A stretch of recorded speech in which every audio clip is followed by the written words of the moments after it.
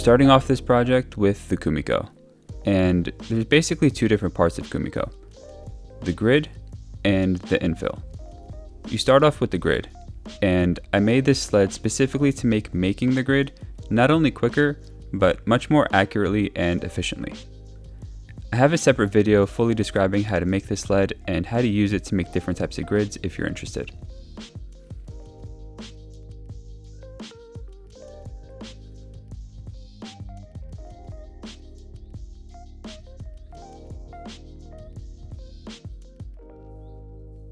For this kind of grid, you need two different types of pieces, and once I have them all cut, I can start assembling them.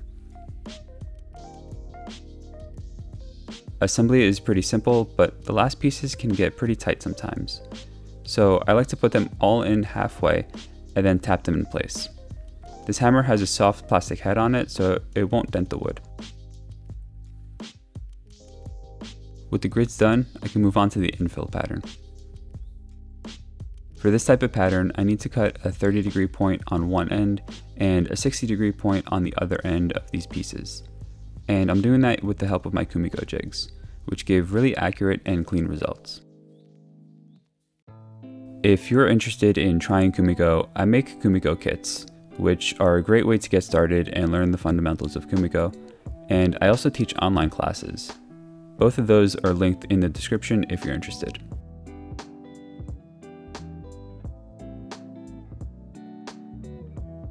I needed a lot of pieces to make this project happen, and what you're seeing here is enough to fill one panel. I have 8 panels to fill, which means I need about 400 of these pieces. But once I had them all cut, I can start putting the patterns together.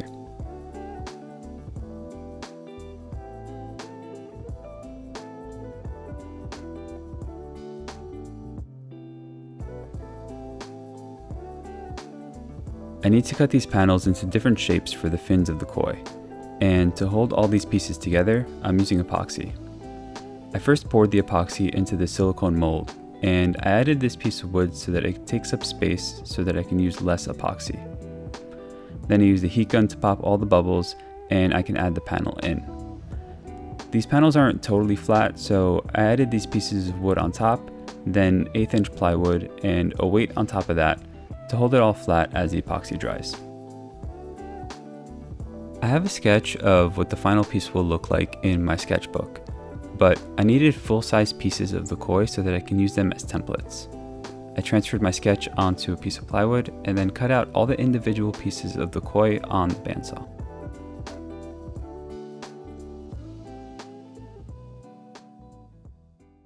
All the pieces of the koi fish form are done. Now I need the strips that are gonna go around it and create the actual koi fish. And for that, I'm using this. So this is cut off from another project where I needed half inch plywood, but I only had three quarter. So I resawed the plywood and ended up with these thin strips. These are a little too wide, so I just gotta cut them down and we can start making the koi fish. This is two plies thick, which for this project gives the perfect amount of flexibility and durability.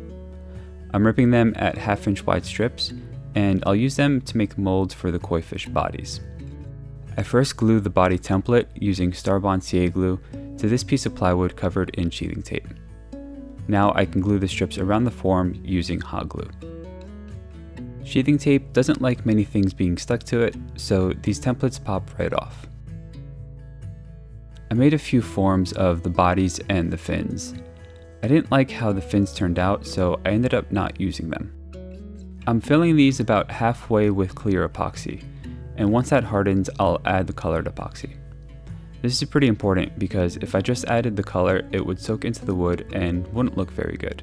Doing it this way allows the clear epoxy to soak into the wood and gives a much finer line between the wood and colored epoxy. This is the first time I'm mixing different colors together and I learned a pretty important tip. If you want to do something similar, add the color that you want least of first. You can see when I add the white here, it pushes the orange out to the sides. And then I went back and filled in the orange because I actually wanted those shapes to be a little bit bigger.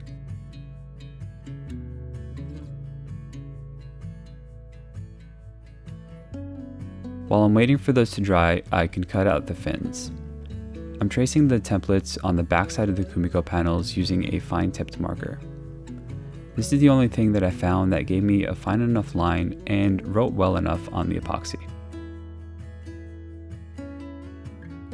After I cut them out, I gave them a light sanding to clean up the edges.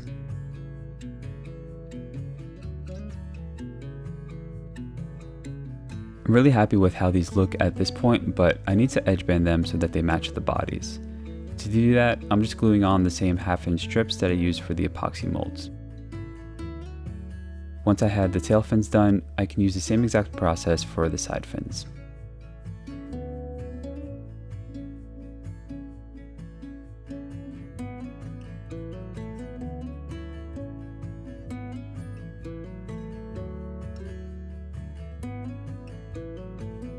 All of these fins will have to be cut to match the contours of the body, so I'm leaving plenty of material on the inside of the fins to allow me to do that. Got pretty nervous right here because I thought I accidentally glued this fin to my workbench. At this point, the koi bodies are ready to be removed from the backing board, and this is just such a satisfying process.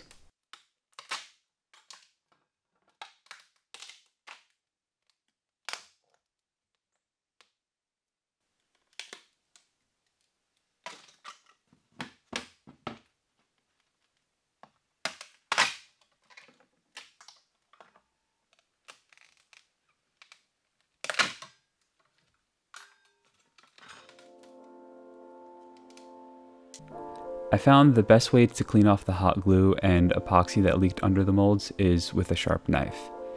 It still goes by very slow, and if you have any tips on how to make this quicker, please let me know in the comments. Throughout the project, I wasn't really sure how I was going to fit the fins to the body, but this is what I came up with. I covered the back of the fins with blue tape and positioned the body on it how I wanted it to fit.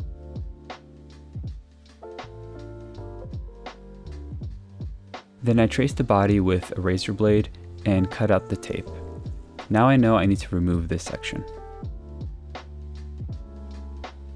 I'm cutting right on the tape line with the bandsaw, and this won't give me a perfect fit on the first time. Well, actually it did for one of them, and I got pretty lucky with that one. But for the rest of them, I marked the area of the body where the tail meets it with pencil. This is going to act like carbon paper, so with the tail in place, I can wiggle it back and forth, and the pencil rubs off on the high spots of the tail, marking what areas I need to remove. This is a really tight spot to get into, and sandpaper wasn't really working out, so instead I'm running them backwards on the bandsaw blade. You can really fine tune with this technique, and it worked out really well. Assembly is pretty straightforward. I'm gluing all the parts together using CA glue. And I was at first concerned about the strength, but you can see here it holds up just fine. And I'm working on top of sheathing tape, so when glue squeezes out of the backside, it won't accidentally glue the koi to my workbench.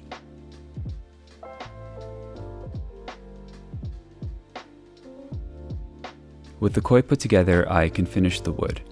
I'm going around the edges with a foam brush, putting on a couple coats of water-based polyurethane. The last thing to do to the koi is to mount them, and for that, I need a circle. I'm drilling a hole in the center of this panel, but not all the way through. Moving over to the table saw, I can use this jig to cut out the circle. There is a dowel on the top side, which goes into the hole I just drilled, and runners in the bottom, which run in the miter slots of the saw. Now I can spin the board around that dowel, removing all the corners.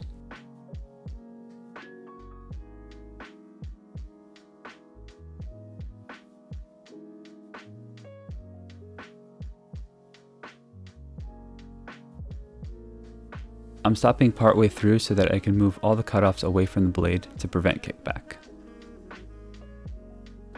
I was debating if I should use half inch plywood to match the thickness of the koi, but 3 quarter inch is far more stable. So to lighten some of the visual weight, I'm cutting a chamfer on the back edge. Throughout this project, I knew I wanted to add colored epoxy to the circle, but I wasn't able to decide on a color. I figured blue, like water, is the only way to go and won't attract too much attention away from the koi. There's two circles here because I'm actually making two of these kumikoi. And if you're interested in owning one, hang tight to the end of the video for more details.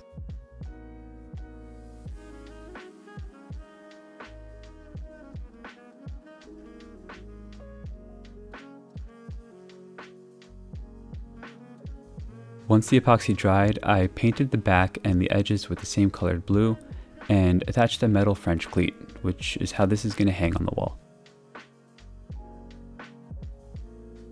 To attach the koi, I first laid them out on the circle where I thought they would look best, and marked their position with blue tape.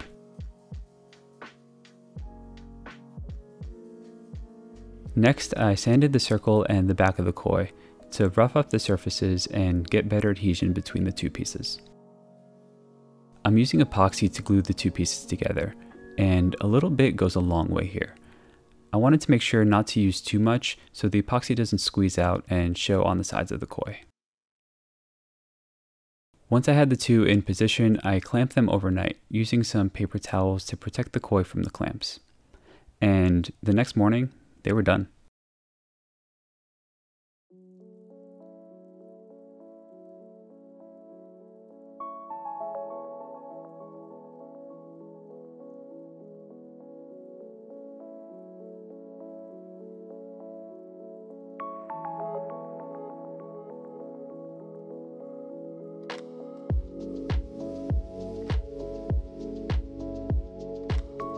I've made a few Kumiko and epoxy projects in the past, but this Kumikoi is definitely my favorite.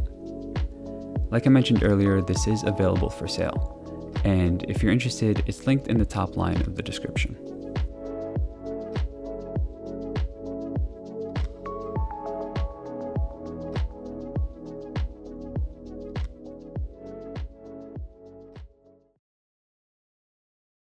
Before you head out, I want to let you know that I have new merch. This is one of the new shirts, and you may be able to recognize what's on the back. It's another Kumiko and epoxy project, but this is just one of the designs. I have a couple other new shirts available. I also have new stickers. Some of them feature some previous projects and some pretty recent ones. If you want to grab anything, be sure to check out the link down below, and I really appreciate your support. Thanks for watching this video, and I'll see you in the next one.